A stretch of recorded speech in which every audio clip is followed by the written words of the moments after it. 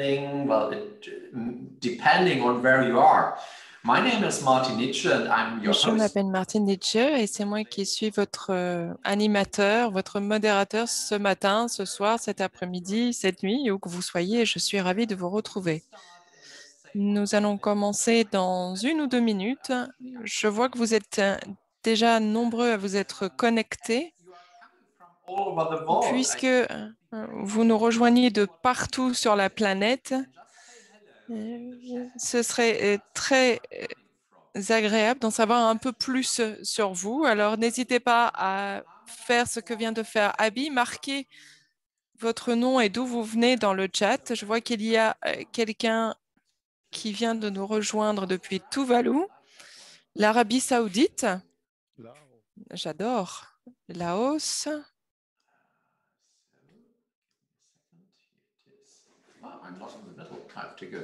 South Africa. Aruba. Aruba. Aruba. C'était ça qui me manquait. Aruba. Il nous faut organiser un événement de haut niveau à Aruba.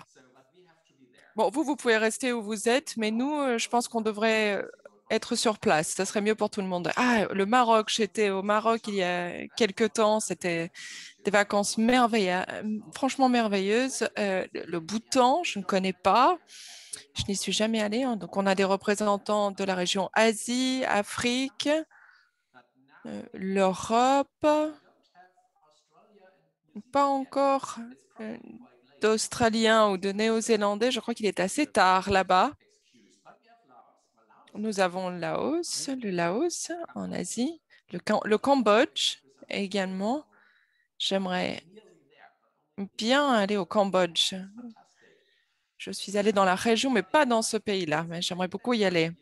Bonjour à tous, je suis ravie de vous retrouver. Nous sommes euh, très nombreux, nous avons plus d'une centaine d'inscriptions et vous êtes déjà nombreux à être connectés.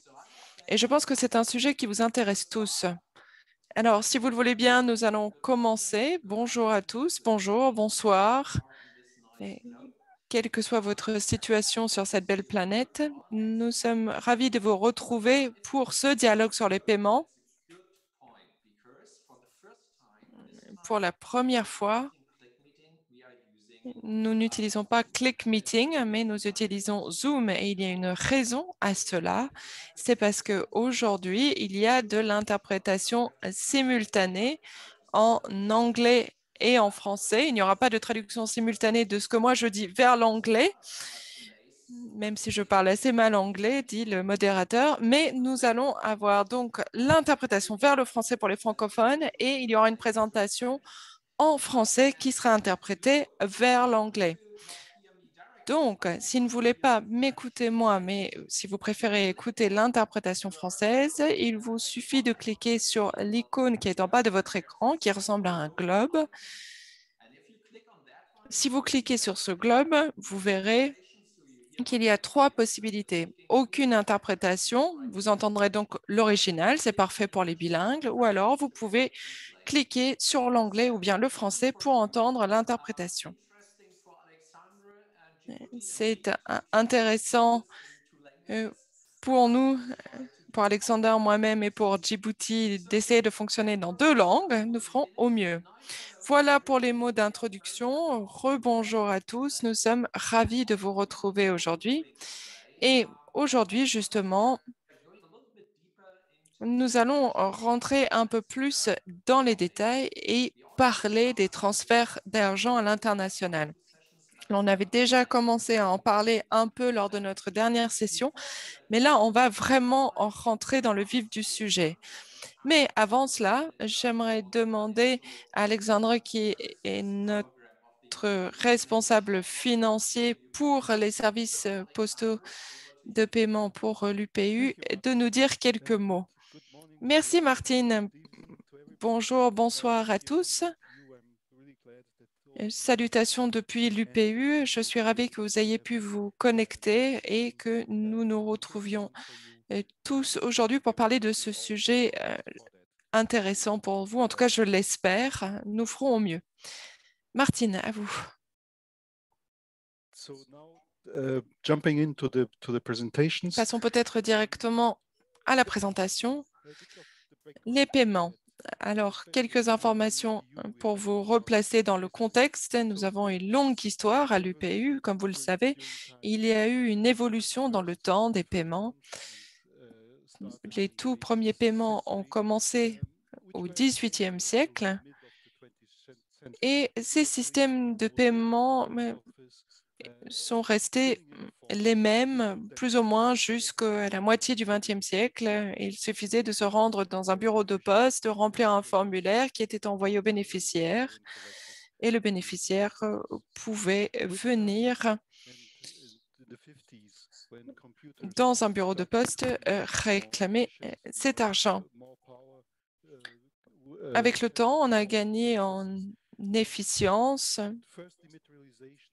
en puissance de traitement. Donc, il y a eu les premières dématérialisations de ces virements, de ces transferts. C'était surtout le secteur bancaire qui était concerné au début, secteur qui n'était pas accessible aux moins riches. Il était donc impossible d'utiliser ces systèmes pour les personnes qui n'avaient pas des moyens financiers très importants. Avant les années 80, c'était encore un système à base de papier, donc pour ces envois d'argent par mandat. À partir des années 80-90, des opérateurs ont commencé à apparaître un peu partout avec des bases de données centralisées qui reliaient leurs agences par le biais d'un réseau informatique qui leur permettait donc de transférer de l'argent par le biais de systèmes informatiques. Cela a également fait partie de notre évolution à l'UPU. À la même époque, on a commencé à mettre au point notre propre système et nous avons dématérialisé les mandats pour un passage à un système euh, complètement électronique. D'ailleurs, je peux vous raconter une petite histoire au tout début euh, de euh, ma carrière à la Poste.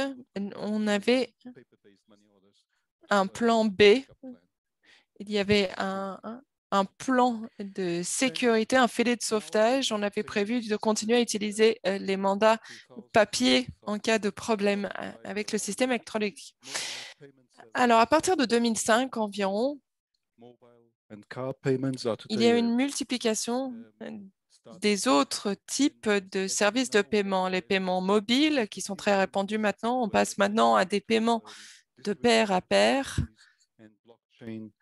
avec des technologies euh, DLT et blockchain et d'autres technologies très avancées. Et il y a également euh, des crypto-devises, des crypto-monnaies qui ne sont plus liées à des devises fiduciaires. Alors, bien sûr, nous n'avons pas de boule de cristal, mais nous allons suivre de près l'évolution de tous ces nouveaux systèmes de paiement et notamment de PRAP.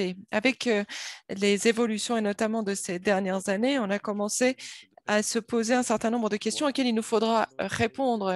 À quoi ressemble l'avenir des paiements et le secteur des paiements Quel sera le comportement de nos clients Qui pourra se permettre d'utiliser ces systèmes? Et nous essayons de trouver des réponses à ces questions. Nous les avons d'ailleurs abordées lors des précédents dialogues. Mais pour la suite, je vais redonner la parole à Martine. Merci Alexandre. En effet, ces derniers mois, nous avons organisé plusieurs sessions très intéressantes. Dès le mois de février, on a commencé à parler de l'avenir des paiements. Noah Garker du Japon était notre orateur principal. Et je crois qu'il nous a posé beaucoup de questions intéressantes. Il nous a vraiment euh, donné matière à réflexion. Et, il fallait euh, vraiment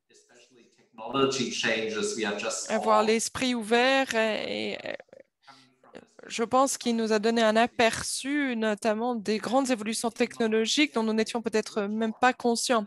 Au mois de mars, c'est Sergei Dukalski et moi-même qui vous avons parler de l'évolution et de la révolution des systèmes de paiement, notamment du point de vue des consommateurs.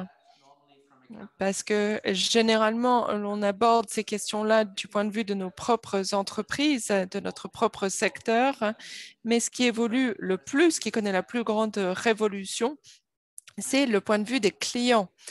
Donc, c'est intéressant de se mettre à la place des consommateurs. Et aujourd'hui, je dirais que l'on rassemble les deux. L'on va prendre le fonctionnement euh, de ce système euh, moderne de transfert euh, d'argent et l'expérience des consommateurs. Nous allons entendre une présentation d'Alexandre qui va vous expliquer comment fonctionne post-transfert et ensuite nous allons entendre Djibouti. Djibouti va nous expliquer comment ils ont mis en place ce système à Djibouti et enfin, nous allons passer en revue les composantes techniques avec Alexandre de nouveau.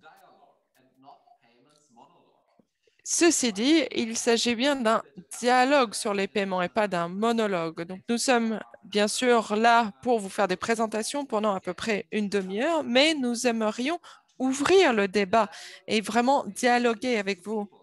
Pour avoir un bon dialogue, il faut au moins deux personnes. Nous avons donc besoin de vous, de votre participation pour cela. Je vous invite donc, si vous avez des questions, à les écrire dans le chat, dans la boîte de dialogue. Il y aura peut-être même un peu de temps pour une séance questions-réponses en fin de session. Donc, nous sommes là pour vous. C'est un dialogue. Posez vos questions. C'est important pour nous que cela fonctionne dans les deux sens. Et notamment, nous aimerions entendre quels défis vous rencontrez dans votre travail. Alors, sans plus attendre, l'on va passer à post-transfert et comment vous avez su développer cette marque déposée ces dernières années? Vous êtes nombreux à le savoir.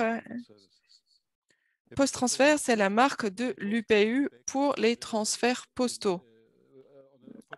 Un peu d'histoire. Post-transfert a vu le jour suite à une décision du Conseil en 2013. Alors, cela a été un parcours assez long. Il y a d'abord eu la création du logo post-transfert.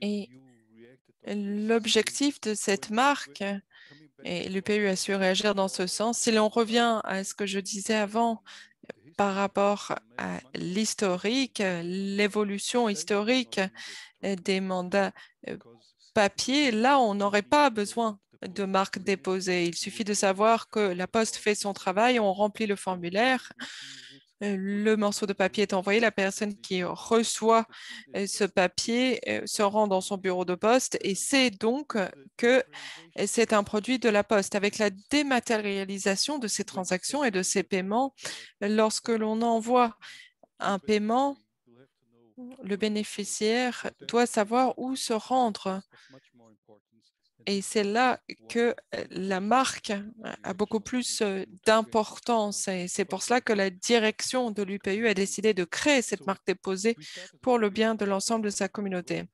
On a donc commencé avec la création du logo et ce n'était pas évident, vous pouvez me croire. En regardant ce logo, vous voyez, c'est une chaîne avec les couleurs des services financiers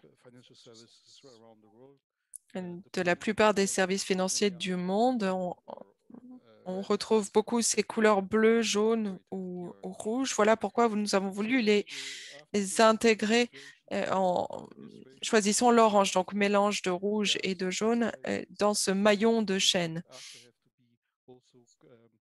Ensuite, euh, il nous a fallu confirmer auprès de chaque pays que les systèmes étaient en place et cela a pris euh, un certain temps. On a créé ensuite le groupe qui s'appelle désormais le groupe d'utilisateurs des services postaux de paiement euh, qui est chargé de gérer cette marque et tous les paiements qui vont avec. Ce groupe a, mis au point toute une série de matériel de promotion également. Et j'aurai l'occasion d'y revenir dans la suite de ma présentation. En parallèle, pour assurer un niveau de qualité de service, comme vous le savez, et là je fais référence à notre logo, la qualité de la chaîne dépend de son maillon le plus faible. Donc si vous voulez un service de qualité, vous devez vous assurer que le niveau de qualité soit suffisant dans l'ensemble du réseau. Donc, nous avons mis au point des normes et des outils de qualité de service. Enfin, nous avons déployé cette marque il y a quelques années. Bien sûr, c'est encore un travail en cours. Il y a des pays qui nous rejoignent tout le temps. Le groupe d'utilisateurs des services postaux de paiement, comme je l'ai expliqué, est responsable de la gestion des services de paiement au sein de l'UPU et est appuyé par notre équipe de services financiers à l'UPU, bien entendu, avec des résultats très intéressants. Des pays de toutes les régions nous rejoignent et ont maintenant adopté notre marque déposée. D'ailleurs, beaucoup ont dû changer le nom de leur système de paiement. Avant, ils utilisaient des noms comme Mandat électronique international, Money Orders, IMO ou autres. Ils ont dû faire l'effort de modifier.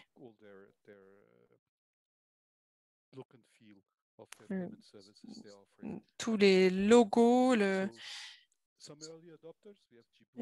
la, toute la vision, en fait, la représentation de cette marque. Parmi les premiers à l'adopter, il y avait Djibouti, Sénégal, la Moldavie. Et ce groupe d'utilisateurs des services postaux du paiement est bien sûr composé d'utilisateurs euh, des opérateurs désignés ou des pays de l'UPU. Et ceux qui sont membres de ce groupe peuvent utiliser cette marque déposée gratuitement. Cela fait partie de leur privilège de membre. Les autres qui ne font pas partie de ce groupe peuvent également l'utiliser, mais ils doivent payer euh, des frais de licence. Pour développer cette marque déposée, l'on a fait appel à l'UPU, notamment pour tout ce qui est matériel promotionnel, les vidéos et les échanges avec les partenaires. Voilà euh, des exemples de brochures ou d'affiches. Ceux qui souhaitent utiliser cette marque déposée dans notre communauté ont accès à un certain nombre d'images qu'ils peuvent personnaliser. Nous proposons d'ailleurs une assistance à la création de ce matériel promotionnel de marketing. Il y a euh, des exemples d'applications mobiles également qui intègrent le logo. Il y a également euh, des clés USB ou d'autres produits?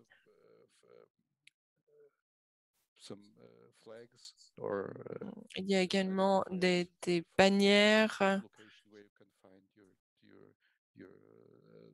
notamment pour bien signaler les endroits où il est possible d'utiliser post-transfert. Euh, le groupe a également euh, créé cette vidéo explicative. Nous avons une vidéo euh, pour l'opérateur lui-même, donc qui s'adresse à un public institutionnel, alors que l'autre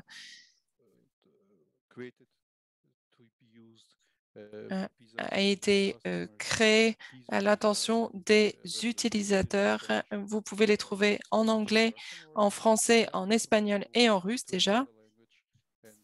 Vous pouvez les personnaliser, les traduire dans d'autres langues et nous serions euh, ravis de vous aider à le faire. Donc, euh, si vous le voulez bien, je vais vous montrer la première vidéo en anglais et ensuite la deuxième vidéo sera en euh, français pour que les francophones les participants francophones puissent en profiter également. What is post transfer all about? Post Transfer is a global postal money transfer service based on an international treaty established by the Universal Postal Union. It allows consumers to send and receive money internationally. Technically, Post Transfer links posts or other designated operators to the UPU's international financial system, a high quality software application designed for the real time exchange of international electronic postal money orders. Commercially, Post Transfer is a complete business opportunity and a trademark for the provision of globally recognized and trusted electronic postal payment services. How does Post Transfer work? A customer deposits money to send abroad at a post office or via the internet or a mobile device. The payment is sent via the secure UPU money transfer system to the destination country. The beneficiary in the destination country can collect the money from a local post office or through various other channels. Additionally, domestic payments can be provided, and partners such as e retailers can be integrated into the network as well. What makes post transfer unique? Post transfer is affordable. It has very competitive prices and has no hidden fees. The Post Transfer Service is accessible in more than 100,000 branches in over 50 countries, and this is growing every day. All transfers are sent via our reliable and secure platform. Post transfer is also fast. Funds are received within a maximum of two hours, guaranteed. Finally, post transfer can be easily implemented and enables partners around the world to offer a state of the art money transfer service to all its customers. Join the Post Transfer family now and offer an innovative online payment service for everybody. Post Transfer, your trust counts.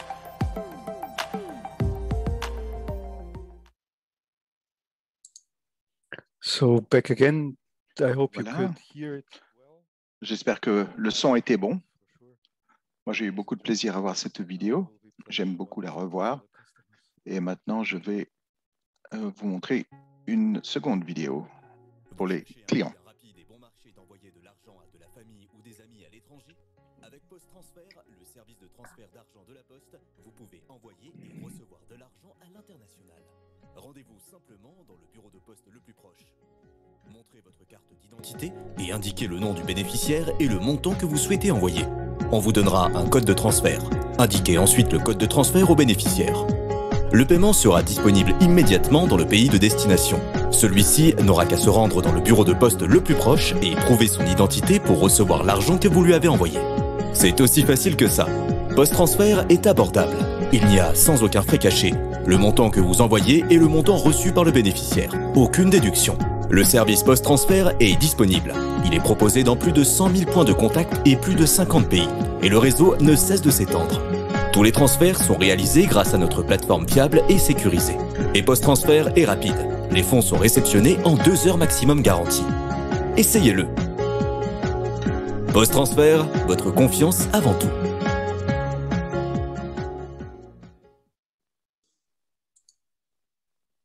So these were the the la- the, the two uh, Voilà donc euh, les deux vidéos you.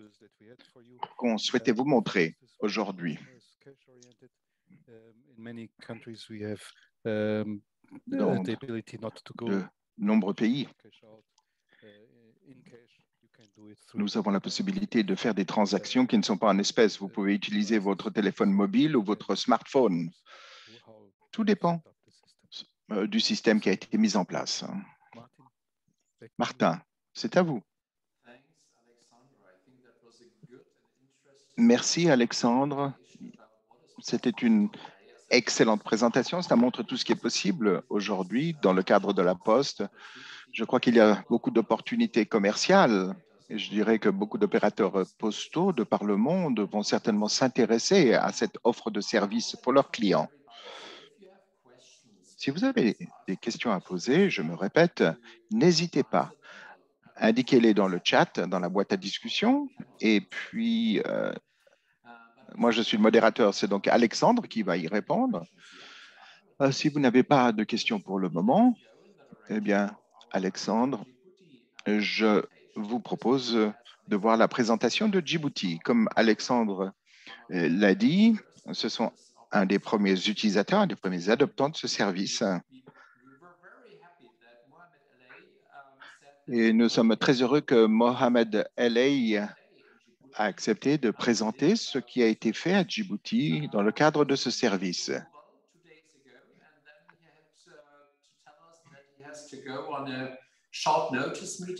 Mais euh, malheureusement, il a eu une urgence et il a dû se rendre au ministère. Évidemment, c'est plus important que la présentation d'aujourd'hui, et donc euh, il y a des priorités, mais néanmoins, il a fait une, pleine présentation avec un voice-over euh, qu'il va partager avec nous. Il n'est pas là en personne, mais on va entendre sa voix. Alors, il y a une première question qui est posée. On pourrait peut-être y euh, répondre maintenant. S'agit-il uniquement de transferts internationaux ou peut-il s'agir de transferts nationaux ou locaux? Jessaya Fuller, Alexandre. Post-transfert, ça fonctionne également au plan local ou c'est uniquement pour des transferts d'argent internationaux? Eh bien, à l'UPU, euh, nous nous intéressons surtout aux paiements internationaux. Euh, le poste de transfert, ce système-là a été créé pour le transfert d'argent international, mais vous avez la possibilité de l'utiliser, il faut le customiser et vous avez la possibilité de l'utiliser au plan local, au plan national. C'est tout à fait possible pour euh, effectuer vos services postaux de paiement. Oui, tout à l'heure, dans la vidéo commerciale, nous avons vu que ça pouvait être utilisé localement pour euh, faire un paiement dans un magasin, par exemple. Et ça, c'est très intéressant. Autre question, Isman, quelle est la différence entre post-transfert euh, et IFS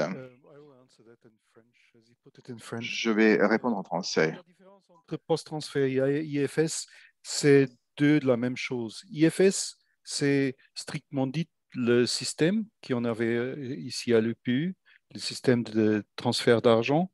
Euh, par contre, post-transfert est beaucoup plus. C'est la marque qui, pour les transferts d'argent, comme ça, c'est post-transfert, la, marque de, pour, pour les, citoyens, pour, les, les, votre euh, client, pour envoyer de l'argent dehors, ou même comme on avait dit, juste vient de dire, euh, domestiquement. Euh, et, mais la technologie utilisée pour faciliter les transferts, post-transfert, c'est les, les, les, les, applications IFS et aussi les nouveaux systèmes, le nouveau système de base de données centralisée, UPU-IP, euh, on parlera un petit peu plus tard sur ça. J'ai un slide là-dessus, mais c'est ça la grande différence. Post-transfert, c'est la marque. Euh, IFS, c'est le système qui est dehors, euh, qui soutient ces opérations, mais pas seulement IFS, il a aussi la possibilité de connecter autres, autres systèmes. Um, Merci Alexandre pour ces explications. Nous aurons la possibilité de répondre à d'autres questions tout à l'heure. Allons à la présentation de Djibouti et regardons ce que Mohamed Elay nous a préparé et puis nous répondrons à d'autres questions tout à l'heure. Très bien.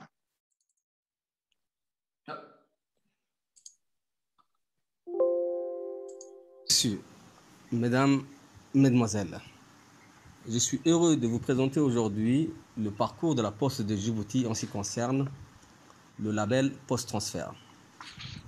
Cependant, je suis navré de ne pas être parmi vous pour vous le présenter en direct. Euh, je voudrais tout d'abord remercier Madame Abi Bossard et Monsieur Alexandre Rodriguez pour nous avoir donné l'occasion de partager notre expérience avec cette auguste assemblée. Je suis persuadé que ces types d'échanges permettent de rendre la coopération entre les partenaires plus efficace. Si je reviens, vers, euh, je reviens aux, aux pratiques de la Poste de Djibouti en ce qui concerne le label post-transfert, il faudrait bien sûr pour cela que je puisse faire un tantinet, l'historique de la Poste de Djibouti par rapport à, à ce service. Alors, comme vous pouvez constater à travers mes slides, la Poste de Djibouti a adopté en 1990 le mandat express international. Ce mandat avait précédé euh, qu'on appelait à l'époque le télégramme postal. Et la Poste de Djibouti a aussitôt euh, signé des contrats bilatéraux avec plusieurs pays, notamment la France, la Tunisie et le Madagascar. Et, et depuis, euh, nous n'avons aucun souci. Ça marche très bien. Ça fait pratiquement maintenant plus de 30 ans.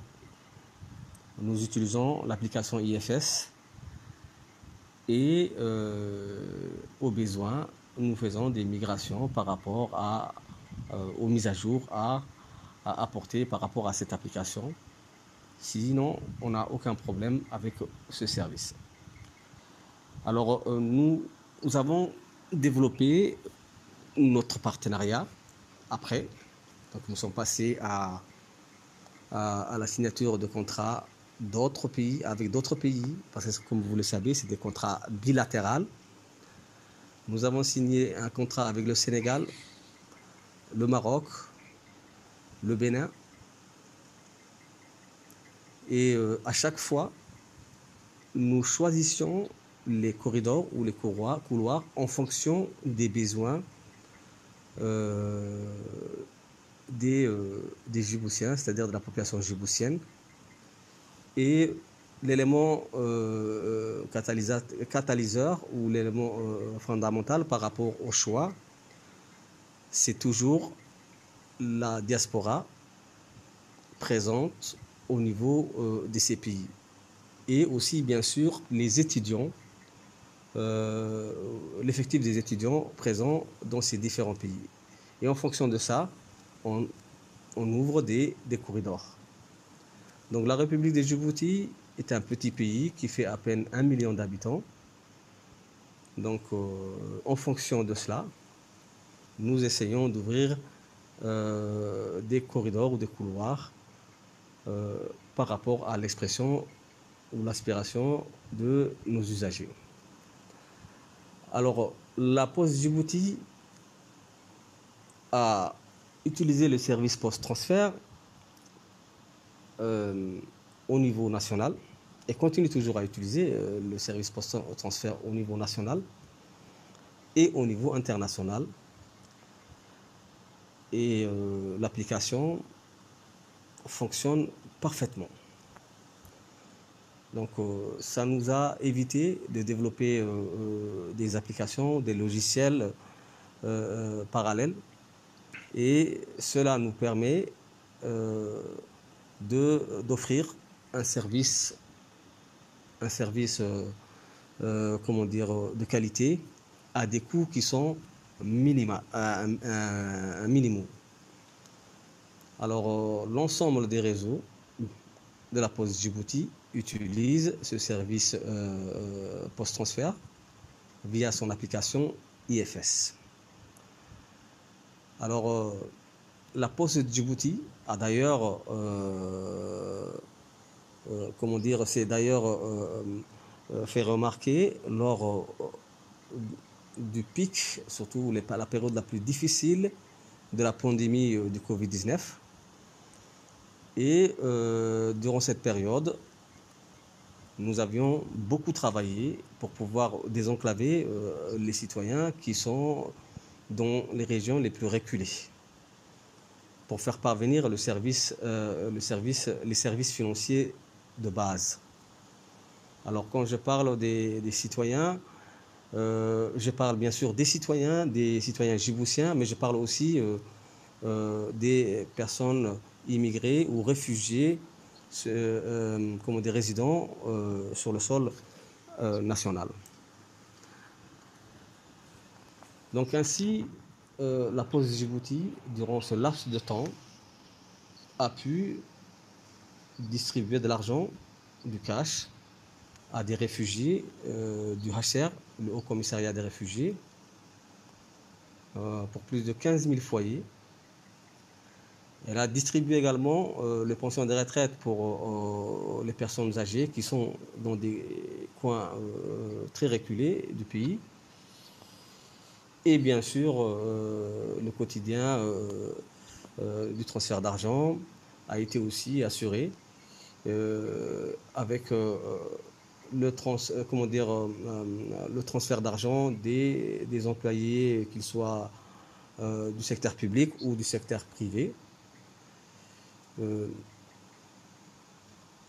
Du secteur privé, c'est-à-dire euh, les personnes ayant de l'argent à envoyer à leurs parents qui sont dans les régions, euh, dans les régions de l'intérieur. Alors, euh, vous pouvez voir les, comment dire, les images que nous avions prises lors, lors des expéditions spécialement euh, mis en place durant cette période de Covid. Euh, nous avons mis sur pied ce qu'on appelle des équipes mobiles qui se sont déplacées euh, dans les camps de réfugiés pour pouvoir distribuer du, cash. Et euh, vous pouvez vous en rendre compte, le label post-transfert est bien mis en évidence derrière les agents de poste et les réfugiés qui sont là sur les Kakomono. Alors, dès que le nom de marque post-transfert a été, euh, euh, officiellement, euh, comment dire, officiellement, officiellement homologué, signé, signé c'est-à-dire en février 2019, nous avons mis en place, nous avons mis en place une campagne de communication pour vulgariser euh, ce nom de marque. Parce que les Djiboutiens étaient plutôt habitués à l'ancienne appellation qui était le mandat express international ou le MEI. Alors, euh, pour euh, familiariser les Djiboutiens à ce nouveau nom, nous avons lancé cette campagne de communication euh,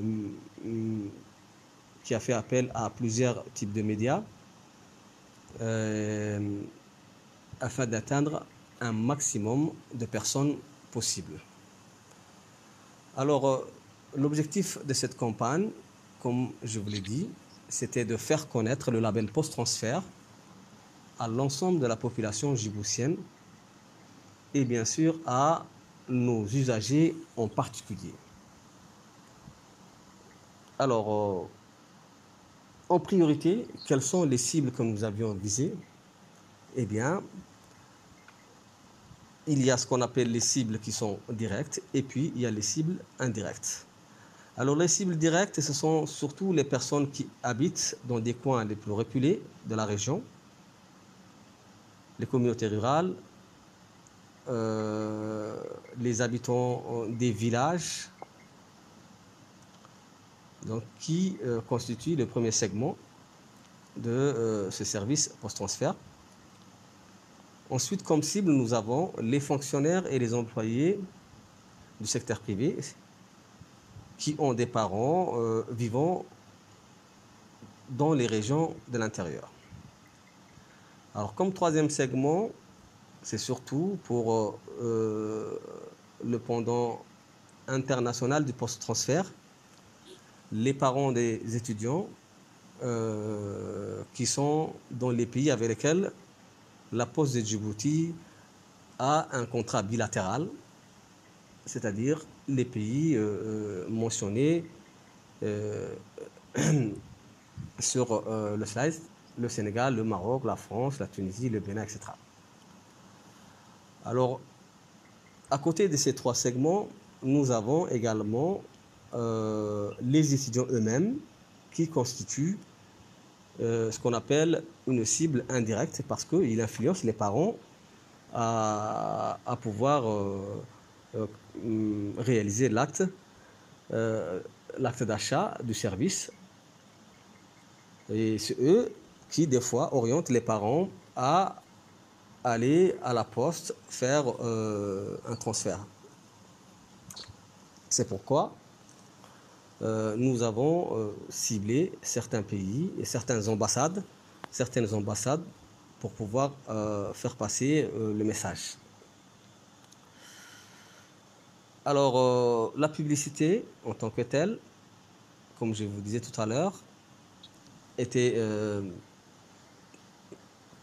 à travers plusieurs médias et les supports que nous avions utilisés au niveau de ces médias sont les affichages au niveau des flyers et des posters. Alors pour les affichages, nous avons utilisé des flyers et des posters. Des flyers que nous avons euh, mis dans tous les bureaux de poste. Des posters, des autocollants que nous avions, euh, que nous avions euh, comment dire, collés euh, sur tous les véhicules de la poste de Djibouti, que ce soit les fourgonnettes, les pick-up et autres, afin de, comment dire, de, bien faire voir le label ou la marque post-transfert à travers tout le pays. Nous avions également utilisé la, radio euh, et diffusé un message radio à travers les ondes de la radio nationale djiboutienne. Euh, et ce au niveau de, des, trois, des trois langues utilisées à Djibouti, à savoir le français, l'arabe, euh, le somali et bien sûr euh, la phare, parce qu'il faut bien dire quatre, parce qu'il y a le somali et la phare qui sont des langues plutôt euh, euh, des langues locales. Et puis il y a les deux langues officielles que sont l'arabe et le français. Donc nous avons également utilisé comme média l'Internet et euh, plus précisément comme support, nous avions utilisé le compte Facebook. Et à partir du compte Facebook, à chaque fois et à chaque action que nous avions mis en place concernant, euh, le, produit ou la marque post-transfert, eh bien, nous faisions des animations, nous faisions des, comment dire, euh, des, euh, des, posts, nous postions des messages pour marquer ces événements et partager avec tous les followers de, euh, du compte La Poste de Djibouti, appelé le postier djiboutien. Alors, euh, nous avions également utilisé la publicité hors médias, plus précisément euh, des imprimés sans adresse que nous avions mis dans toutes les boîtes aux lettres de la Poste de Djibouti et que nous avions également distribué à nos partenaires publics et privés euh, bénéficiant de notre service spécialisé euh, ou personnalisé que nous appelons le Delivery Express. Alors, euh, ces imprimés sans adresse, ces documents, c'était des documents, des maquettes que nous avons mis en place par notre maquettiste et qui mettaient en valeur la marque post-transfert et euh, le produit de manière générale et puis le, nouveau nom qui mettait en évidence clairement le nouveau nom. Vous pouvez voir euh, cette maquette vers la, fin- la- à la fin de, de- de ces slides parce que nous avions euh, nous avions posté euh, cette maquette au niveau de notre compte Facebook. Euh, vous, comme vous pouvez remarquer ici, il y a aussi les affichages que j'avais parlé tout à l'heure sur les flancs des fourgonnettes postales. J'ai juste pris à titre d'échantillon les fourgonnettes. Il y avait les pick-up, et il y, a aussi, il y avait aussi les, les voitures de service euh, sur lesquelles nous avions euh, affiché les autocollants de post-transfert. Alors euh, voilà la maquette, comme vous pouvez remarquer, postée sur le compte La Poste de Djibouti. Et c'est cette maquette que nous avons, euh, euh, comment dire, euh, mis en avant pour pouvoir faire parler un peu de ce produit. Et clairement, comme vous pouvez remarquer, le logo et la marque post-transfert est clairement mis en évidence à côté du logo de la Poste de Djibouti. Alors, cette campagne de communication multicanal et multimédia a pu euh, vulgariser le label post-transfert à travers tous les pays. Et depuis lors, maintenant, les gens sont clairement sensibilisés et quand ils viennent dans nos bureaux de poste, ils parlent plus de post-transfert que de, de MI. Et enfin, comme vous pouvez remarquer, le logo de Post Transfert a rejoint euh, le portefeuille produit de la Poste, qui est constitué de ces différentes prestations que vous pouvez voir euh, sur ce slide. Sur ce, je vous remercie. Ma présentation prend fin ainsi.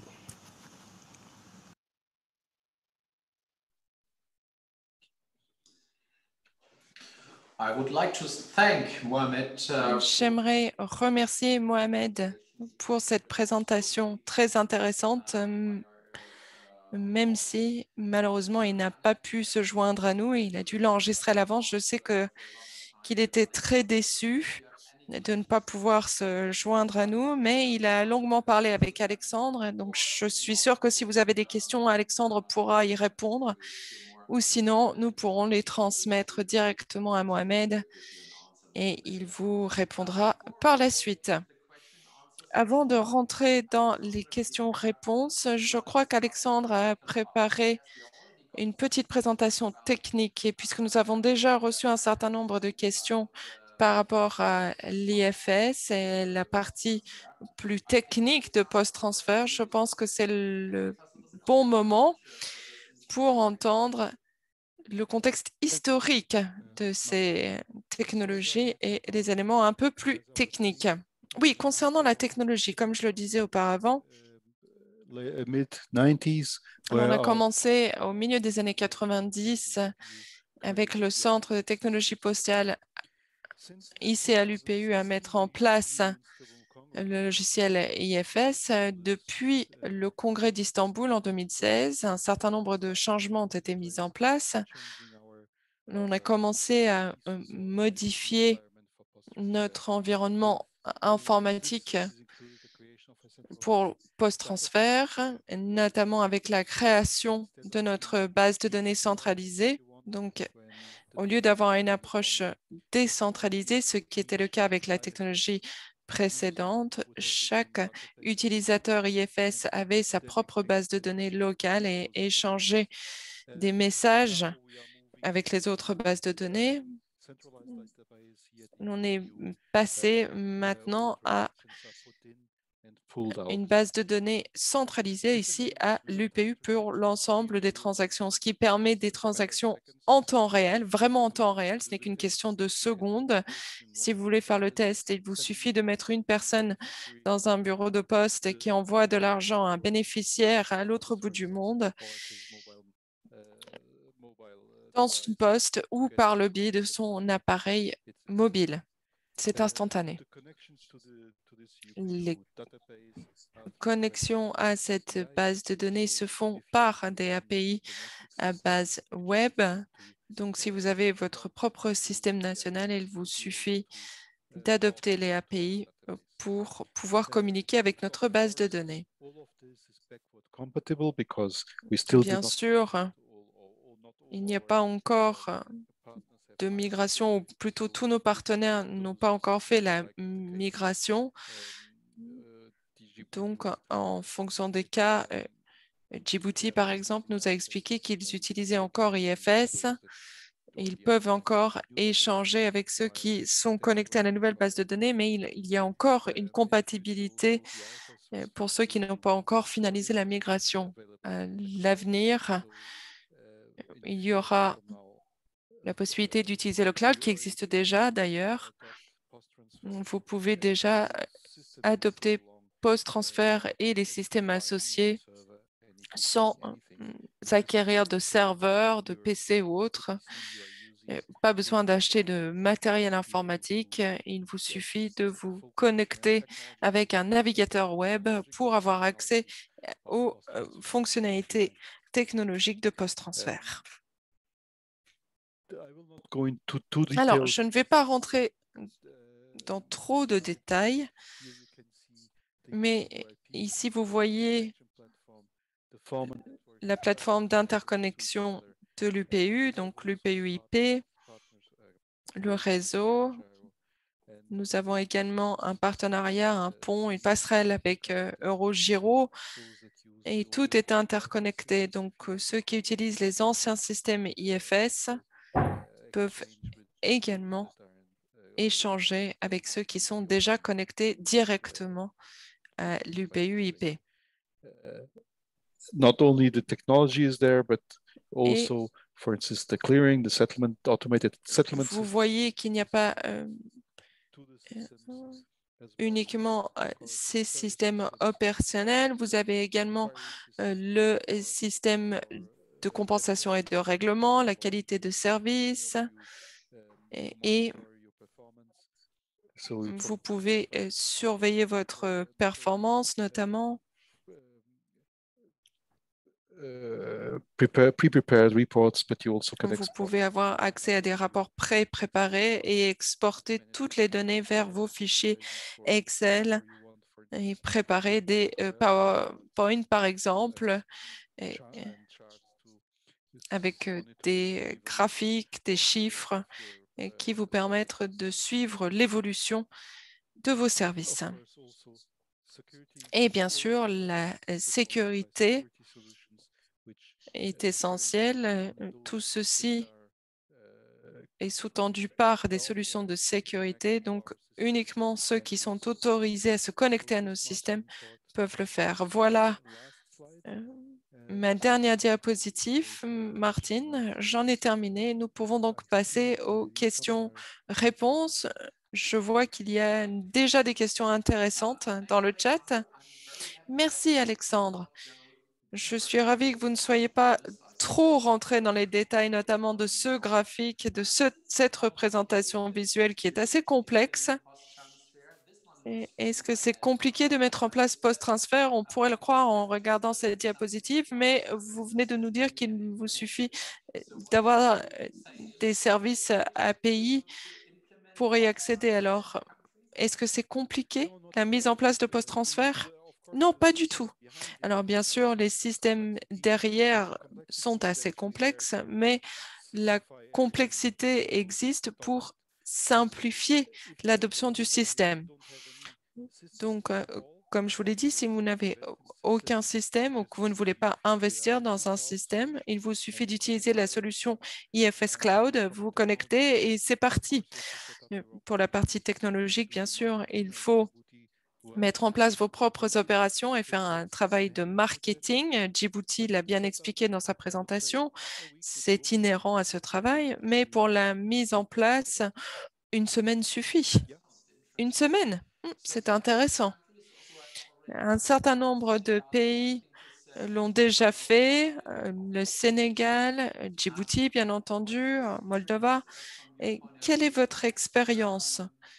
Euh, D'après vous, quels sont les critères nécessaires pour assurer une mise en œuvre réussie? Alors, il y a un certain nombre de critères, mais je dirais que le plus important, c'est la volonté. Il faut bénéficier d'un soutien de la direction, de la haute direction de la Poste. Il faut que tout le monde soit impliqué et vous soutienne dès le départ. À partir de là, il n'y a plus tellement d'obstacles à surmonter puisque d'un point de vue opérationnel, nous avons un guide opérationnel complet. Et comme on vous l'a déjà expliqué, on a même un matériel promotionnel publicitaire qui vous permettra de mettre en place ce service.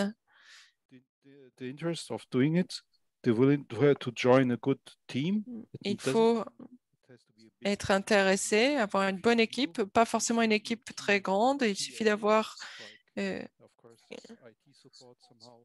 des personnes qui ont l'expertise nécessaire en matière informatique et marketing, par exemple.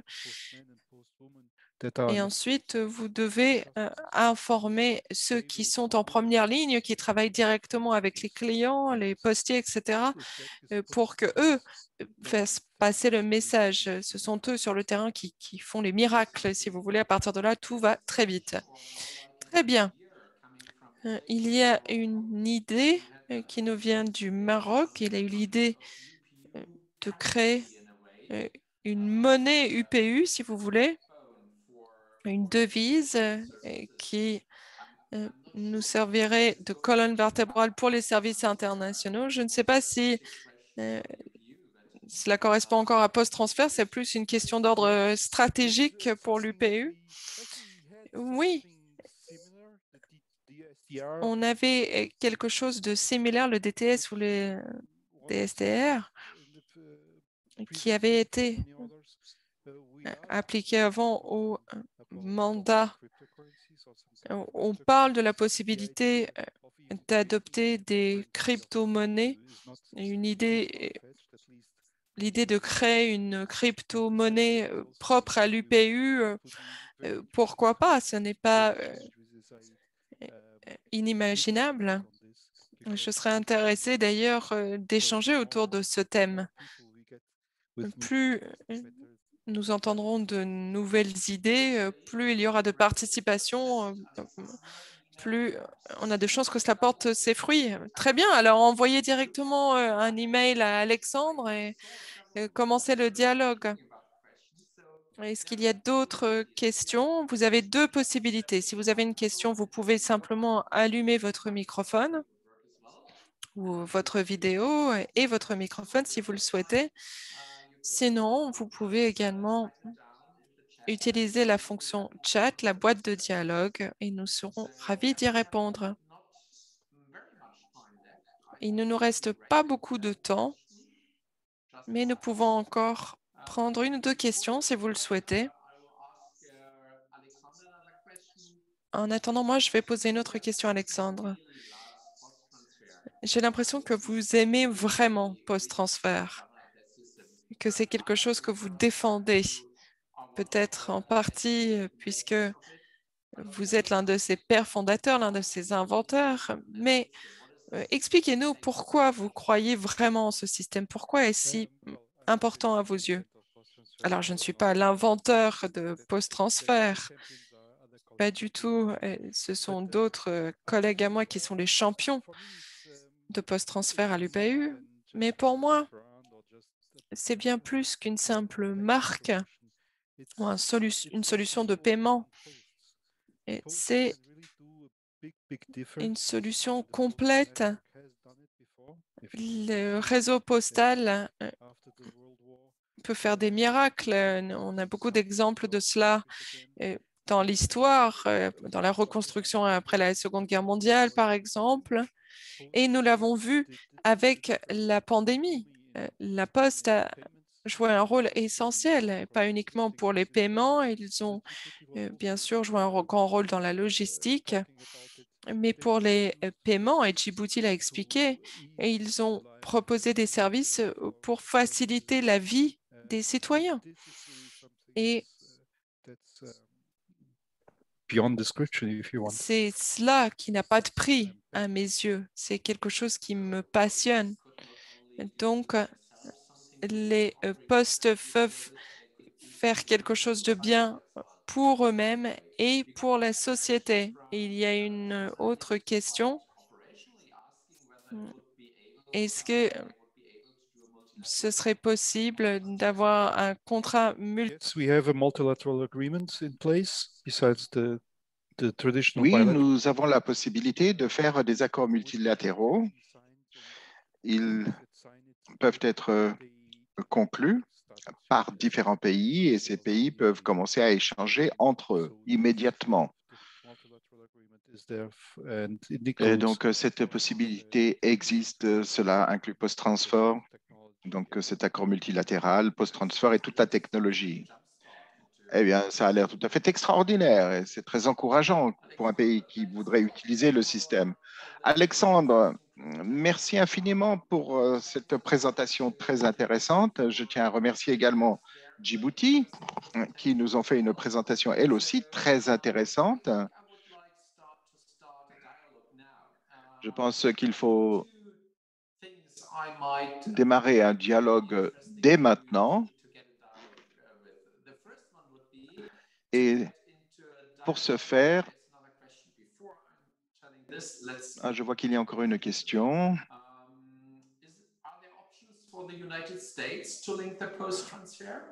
Est-ce que les États-Unis peuvent utiliser le système post-transfert?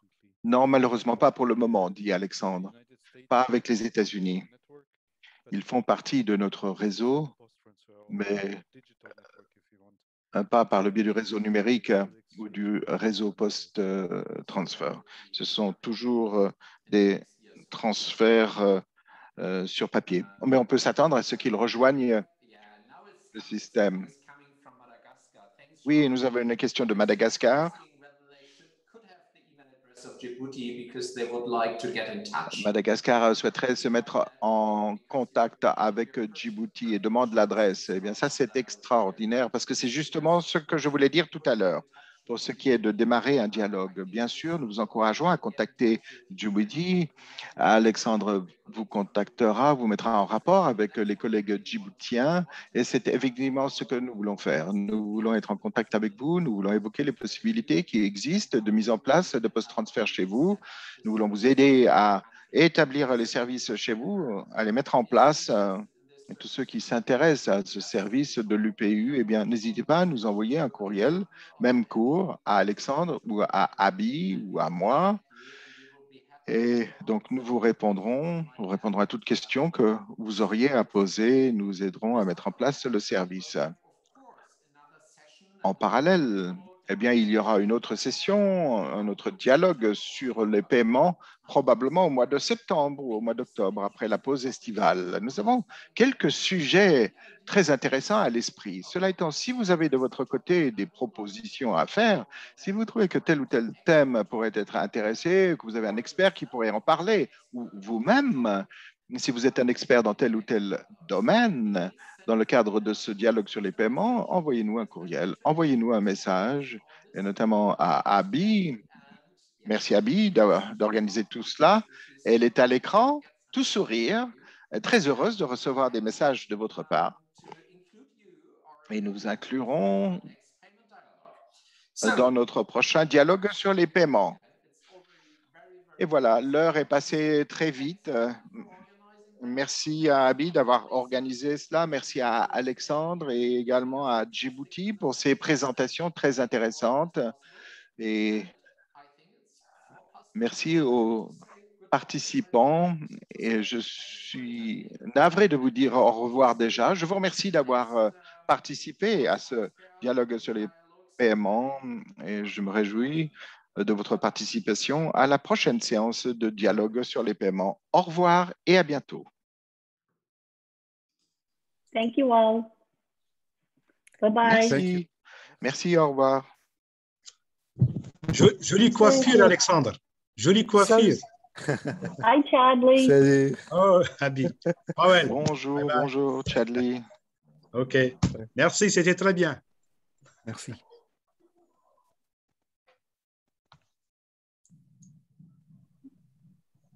Merci Okay, beaucoup, thank you. tout le monde. Happy. Merci, merci à tous et à toutes.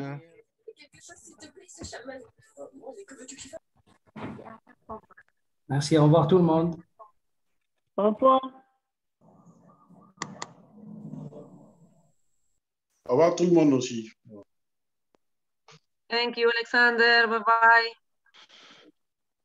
Au revoir Alexandre et merci. Et au revoir de la part des interprètes également depuis Genève. Merci beaucoup.